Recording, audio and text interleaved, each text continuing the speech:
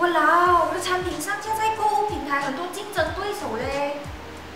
没办法，现在做一个网店都要一两万块钱，而且做一个 APP 都要几万块钱呢。唉，没事没事，介绍一个平台，不但可以建立自己的私域流量，而且还可以系统化你的生意哦。嗯，什么来的？私？私域流量是属于自己的平台，没有竞争，所以一旦你的顾客进入呢，就会成为你的忠实顾客喽。有那么容易吗？不可能啦！